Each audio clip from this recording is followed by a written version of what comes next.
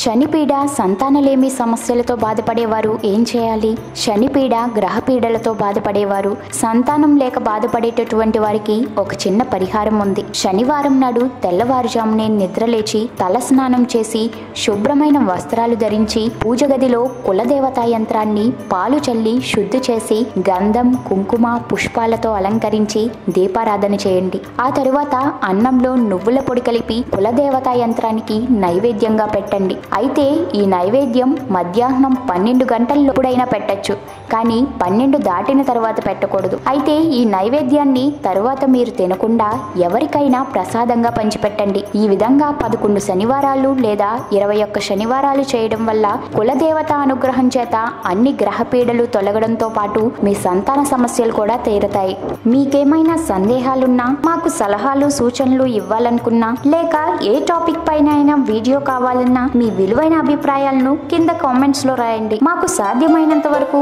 శక్తి వంచన లేకుండా మీ సందేహాలను నివృత్తి చేయడానికి ప్రయత్నిస్తాం.